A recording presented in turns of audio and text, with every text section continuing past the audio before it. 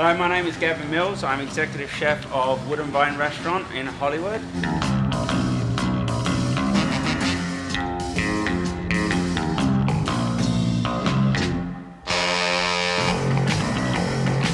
People love the really rich, very earthy, very beefy flavours. Uh, we use Paso Prime's flour and steak purely because of the rich, deep flavour, which I really love.